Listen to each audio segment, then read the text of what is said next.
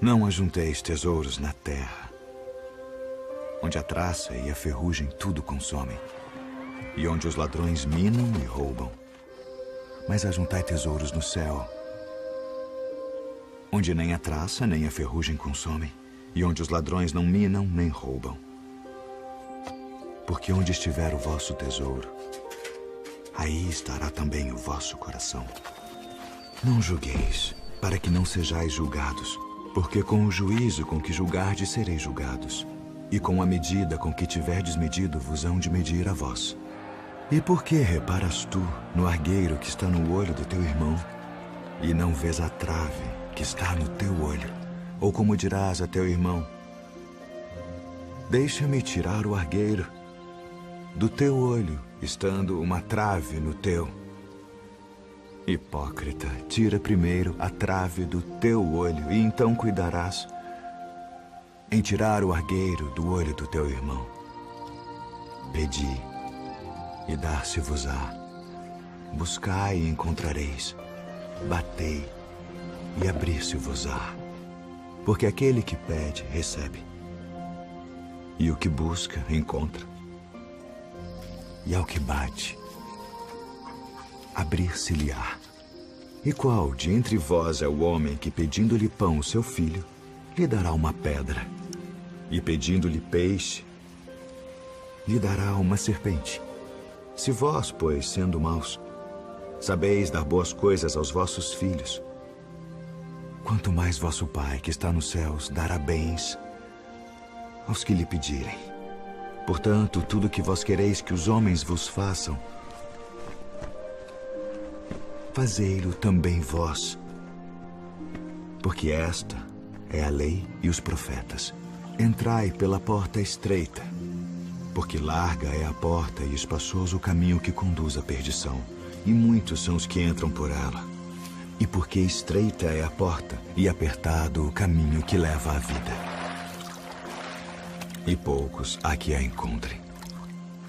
Acautelai-vos, porém, dos falsos profetas, que vêm até vós vestidos como ovelhas, mas interiormente são lobos devoradores. Por seus frutos os conhecereis.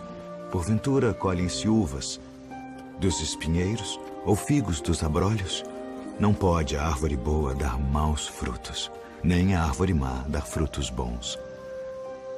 Toda árvore que não dá bom fruto corta-se e lança-se no fogo. Portanto, pelos seus frutos os conhecereis.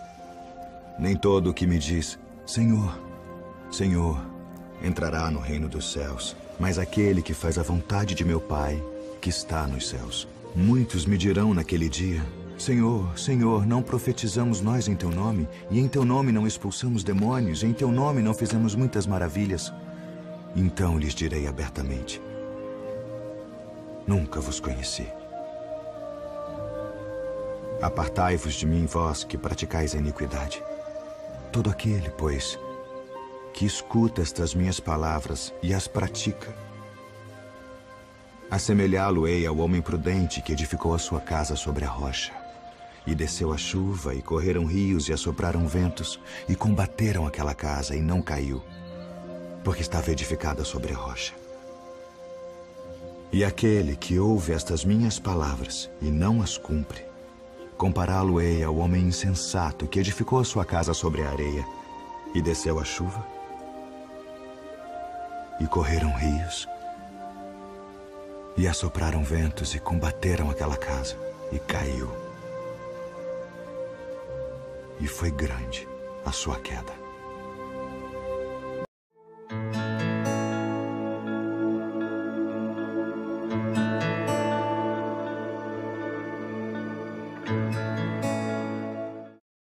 A herdade de um homem rico tinha produzido com abundância. E ele arrazoava consigo mesmo, dizendo: O que farei? Não tenho onde recolher os meus frutos. E disse: Farei isto: derrubarei os meus celeiros e edificarei outros maiores.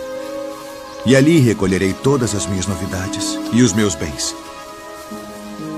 E direi à minha alma: Alma, tens em depósito muitos bens para muitos anos.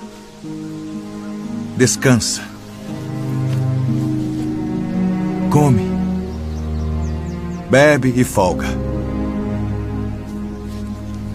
Mas Deus lhe disse, louco, esta noite te pedirão a tua alma. E o que tens preparado, para quem será? Assim é aquele que para si ajunta tesouros e não é rico para com Deus. Portanto vos digo: não estejais apreensivos pela vossa vida sobre o que comereis, nem pelo corpo sobre o que vestireis. Mais é a vida do que o sustento, e o corpo mais do que as vestes. Considerai os corvos,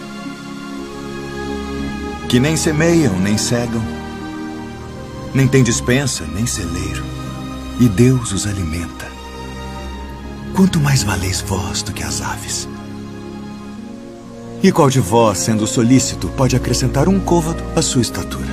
Pois se nem ainda podeis as coisas mínimas, por que estáis ansiosos pelas outras?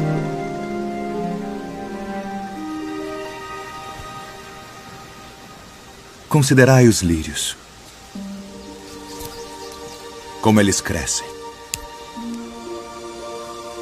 Não trabalham, nem fiam, e digo-vos que nem ainda Salomão, em toda a sua glória, se vestiu como um deles.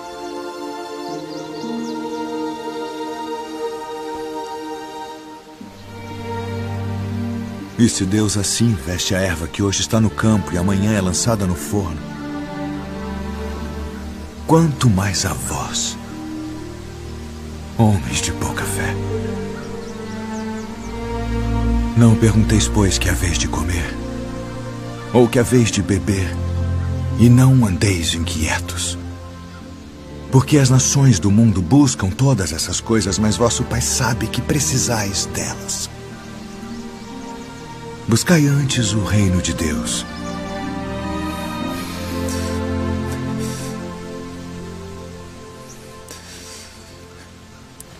E todas estas coisas vos serão acrescentadas.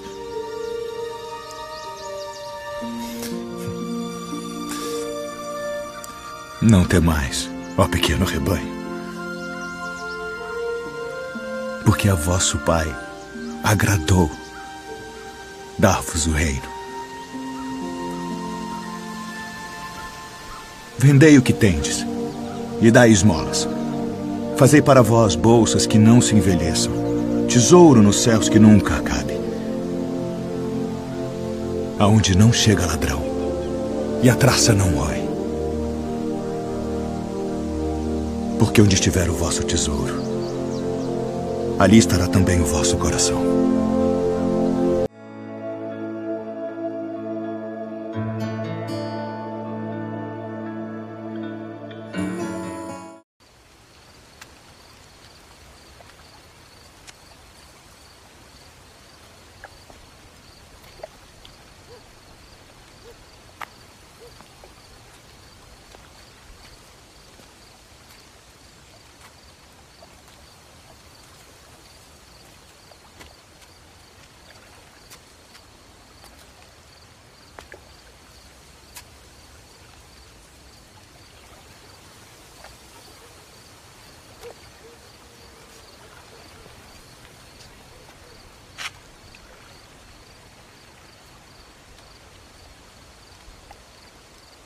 Rabi,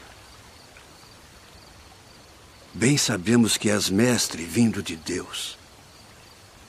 Porque ninguém pode fazer estes sinais que tu fazes se Deus não for com ele.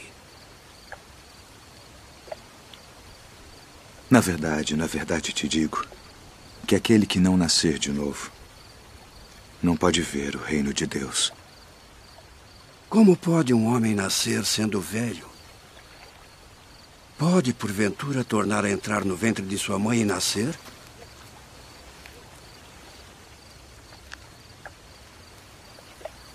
Na verdade, na verdade te digo que aquele que não nascer da água e do Espírito não pode entrar no reino de Deus. O que é nascido da carne é carne. E o que é nascido do Espírito é Espírito. Não te maravilhes de te ter dito: necessário vos é nascer de novo.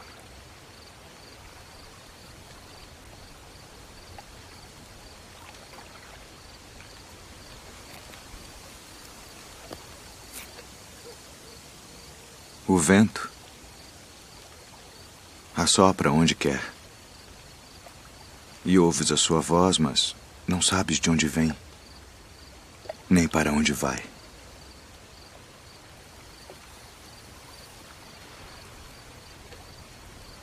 Assim é todo aquele que é nascido do Espírito. Como pode ser isso? Tu és mestre de Israel e não sabes isto. Na verdade, na verdade te digo que nós dizemos o que sabemos e testificamos o que vimos, e não aceitais o nosso testemunho. Se vos falei de coisas terrestres e não crestes, como crereis se vos falar das celestiais?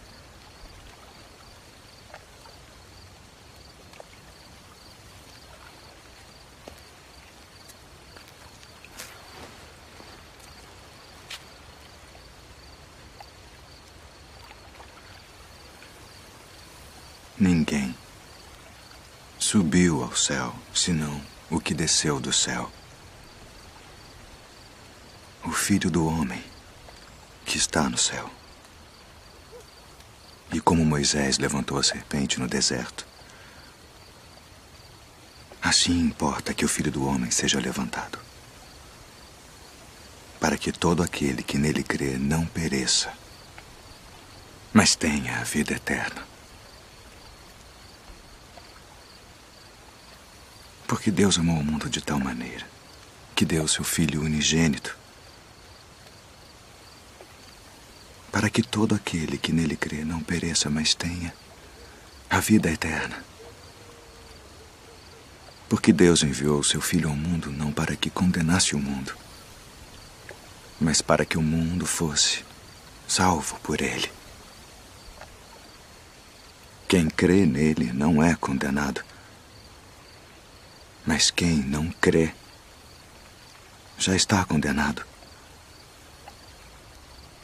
Porquanto não crê no nome do unigênito Filho de Deus. E a condenação é esta: que a luz veio ao mundo e os homens amaram mais as trevas do que a luz, porque suas obras eram más. Porque todo aquele que faz o mal odeia a luz e não vem para a luz para que as suas obras não sejam reprovadas. Mas quem pratica a verdade vem para a luz, a fim de que as suas obras sejam manifestas, porque são feitas em Deus.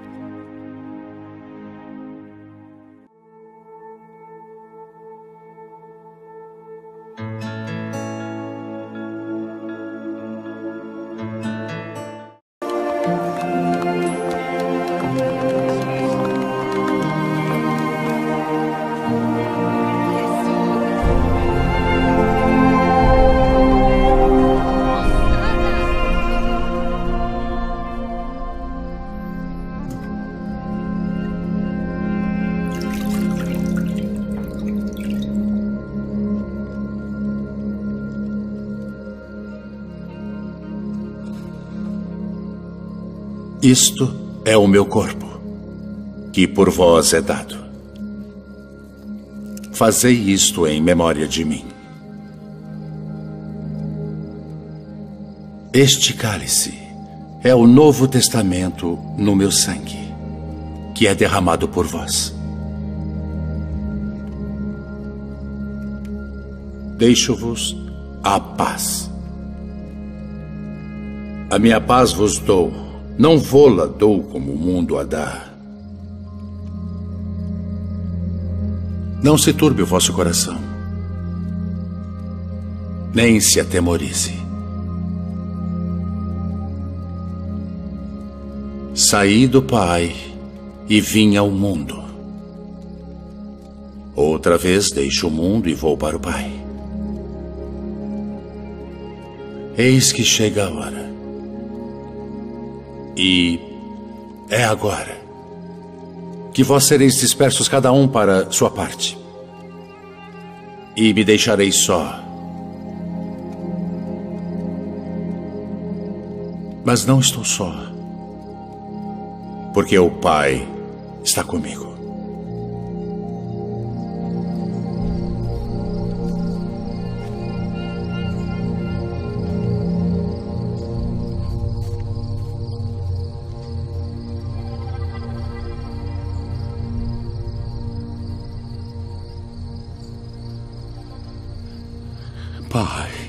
Todas as coisas te são possíveis.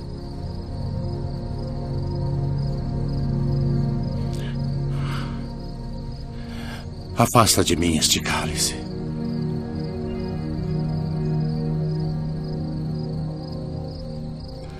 Não seja, porém, o que eu quero, mas o que tu queres.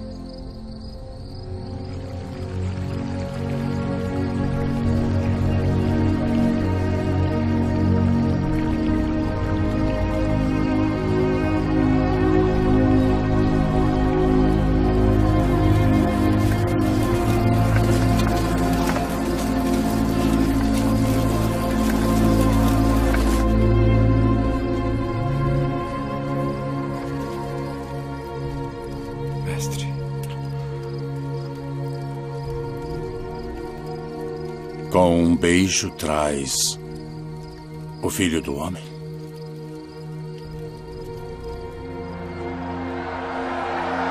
Que farei então de Jesus, que é chamado o Cristo? Crucificai-o! Crucificai-o! Por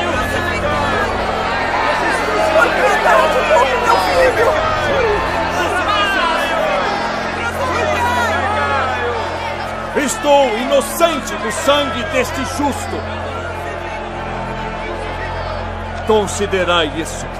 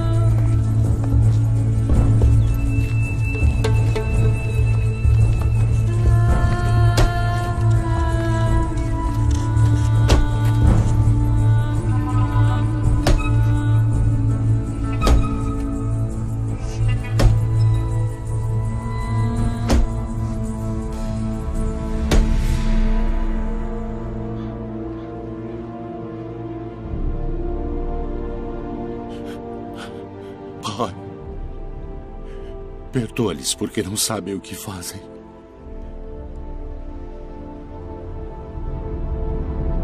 Eis a tua mãe. Pai, nas tuas mãos entrego o meu espírito.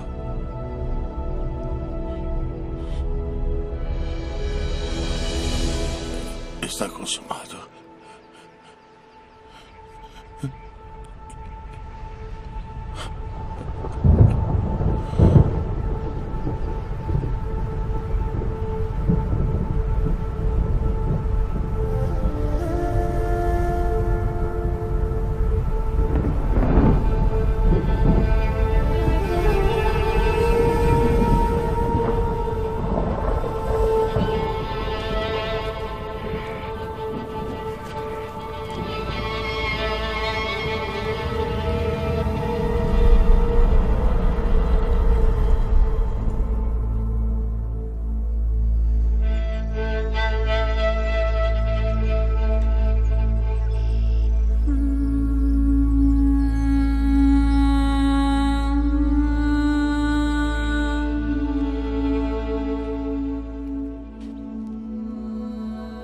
Mulher, por que choras? Maria. Rabone. Não me detenhas, porque ainda não subi para o meu pai. Mas vai para meus irmãos e dize-lhes que eu subo para meu pai e vosso pai, meu Deus e vosso Deus.